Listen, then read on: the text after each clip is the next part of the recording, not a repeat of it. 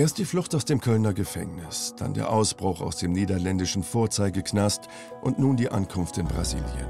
Irgendwie scheint Detlef Kowalewski das Glück gepachtet zu haben und niemand kann ihn aufhalten. Scheinbar. Denn wenn man nach möglichen Verfolgern immer nur in eine Richtung schaut, ändert sich das Blatt sehr schnell.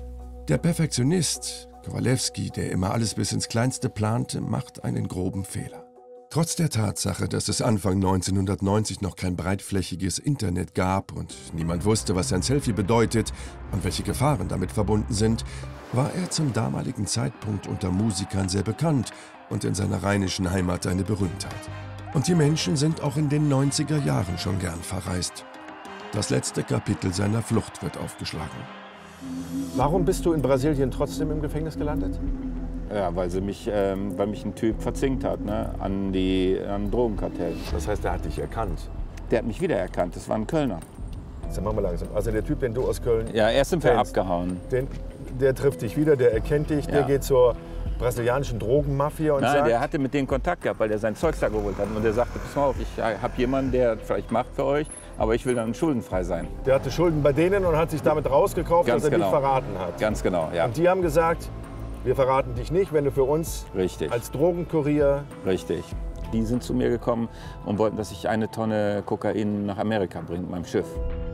oder sie würden sich der, dich der Polizei melden. Genau, ja. Und da habe ich mein Schiff da versenkt. Ja, also wir wurden massiv bedroht. Ich habe äh, Fotos von denen präsentiert gekriegt, wo ich mit meiner Familie am Frühstückstisch sitze, am Frühstücken sind und so. Und ganz massiv. Und ich wollte eigentlich abhauen mit dem Schiff. Weißt du, ich wollte aus Brasilien weg, dass ich dann aus den Augen, aus dem Sinn. Aber die haben mich überall gefunden, egal wo ich war, die haben mich gefunden. Die haben immer jemand hingeschickt, du kommst hier nicht weg. Die hatten, jeder Kapitanier hatten die Leute, äh, die den Informationen gegeben haben. Weißt du, du kamst da nicht raus. Und das wäre ganz Südamerika so gewesen. Also war die logische Schlussfolgerung, Schiff versenken. als dieses äh, brasilianische Drogenkartell ihn da unter Druck gesetzt hat und auch damit gedroht hat, seiner Familie etwas anzutun, war sicherlich das Ende dieser Eskalationsspirale nach unten fast erreicht. Und ich bin davon überzeugt, dass auch er selbst in der Situation gesehen hat, es gibt eigentlich keine großen Handlungsoptionen mehr an dieser Stelle. Brasilien erweist sich für Detlef Kowalewski als einziger Albtraum. Bewaffneten Beamten gegenüberzustehen, das kennt er. Von unberechenbaren Schwerverbrechern bedroht zu werden, denen Menschenleben völlig egal sind, ist selbst für den betont Lässigen eine angsteinflößende Erfahrung. Plötzlich steckt er tief im Milieu der Drogenkartelle und den wohl gefährlichsten Menschen, mit denen man es sich verderben kann. Also ihr lebt in Brasilien. Ja. Und deine Frau wusste auch nicht, dass dieses Drogenkartell von dir diesen Nein. Dienst erwartet. Nein, nein. Meine Frau wusste gar nichts. Ich habe die komplett rausgenommen. Ich habe gesagt, das kann ich ihr jetzt nicht antun, dass die die ganze Geschichte jetzt mitkriegt. Na, weil das ging ja jetzt wirklich um Leben und Tod. Okay, du hast einfach gesagt, so Liebling, wir ziehen jetzt weiter. Die hat sich schon ein bisschen gewundert, dass wir das relativ Hals über Kopf gemacht haben aus Salvador raus und so. Ne? Aber äh, ich wollte ihr das nicht antun. Ja, aber deine Frau kannte dich seit Ja, Jahren. ja, die wusste ja, doch, wenn du unruhig wirst, wenn Ja, irgendwas sehr nicht stimmt, da hat die nicht nachgefragt. Nein. Du hast das Schiff versenkt. Ich habe das hast du Schiff versenkt. du das Schiff versenkt hast? Ja, ja. Warum? Weil ich dachte, ohne Schiff. Nein, aber was, was hast du Elke erzählt? Ach so, ja, ist Unfall. Ach, okay. Ja. Das ist halt Ja, passiert. ja, Warum fängt man dann irgendwann an zu lügen, wenn man irgendwie Ja, ich hatte Angst. Mist Ja, weil das ging ums Leben gemeinsam und Tod. Wenn hat. du in Südamerika äh, mal gewesen bist eine Zeit lang, dann, also wir haben ein paar Mal gesehen, wo Leute auf der Straße erschossen wurden. Einer ist unter unserem Boot erschossen worden. Der ist abgetaucht, der hat eine Bank überfallen, ist, wir waren lang vor Anker da, ist der ins Wasser gesprungen, die sind hinterher mit der Maschinenpistole direkt vor unseren Augen. Dann haben sie den am nächsten Tag hochgezogen, er hing noch eine halbe Stunde so Jetzt an der Pier. decke in- ich bei dir zum ersten Mal Angst, Detlef.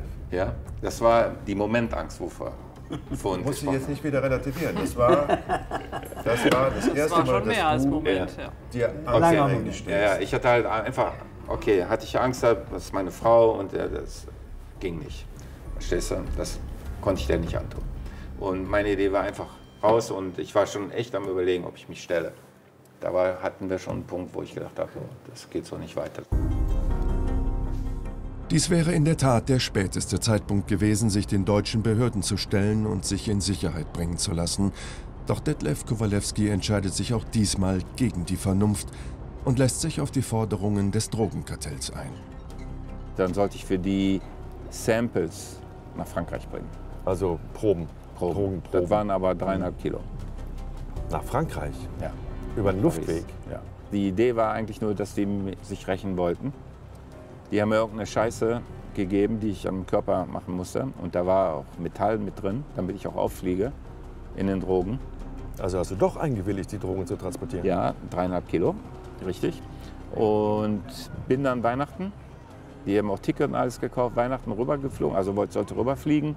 Und dann ging natürlich Alarm, düt, düt, düt, Metall. Und wurde ich abgetastet, haben sie natürlich das Zeugs gefunden.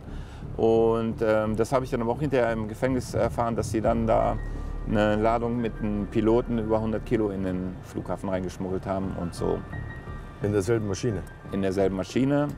Und ähm, ich war praktisch nur so Okay. der Fliegenfänger. Ja. Ja, Ja. damit sich alle auf mich konzentrieren, dann konnten die die Sachen über das Catering da reinschieben ins Flugzeug. Aber warum hast du das gemacht? Ich meine, du warst auf der Flucht. Ja, ich Und- und klar, aber ich hatte dann keine Chance mehr, verstehst du?